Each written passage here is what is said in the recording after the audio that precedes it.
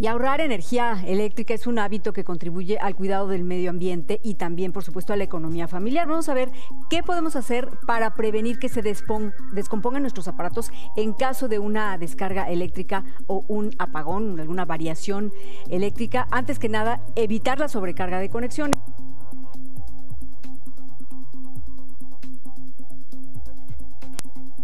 Hay que, pues, verificar obviamente el refrigerador, la lavadora, comprar también un supresor de picos de energía y un regulador para aparatos como lo son la televisión y la computadora. Hay que mantener limpios también los aparatos. El polvo es un gran enemigo para esto y cuando se desconecten tus aparatos evita tirar del cable, o sea, jalarlos del cable, siempre hazlo por la clavija para que no se vaya a desajustar. Para ahorrar energía utiliza focos ahorradores, principalmente de LED, iluminan igual que los incandescentes y consumen 75% menos de energía eléctrica. Utiliza también colores claros en las paredes, en los techos y en el mobiliario y apaga los focos y desconecta los aparatos. Algunos de ellos aún apagados consumen y siguen consumiendo la energía.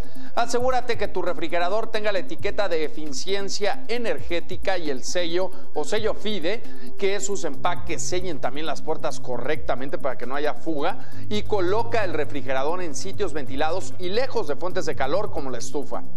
También puedes ahorrar energía eléctrica al planchar la mayor cantidad de ropa.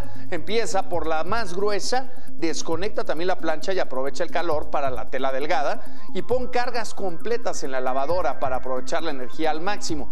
No conectes varios aparatos en un mismo enchufe y verifica que no tienes fugas porque puedes hacerlo apagando todas las luces y desconectando todos los aparatos. Luego verifica que el medidor deje de marcar. Si no es así, tienen que revisar tu instalación eléctrica porque hay una fuga de energía.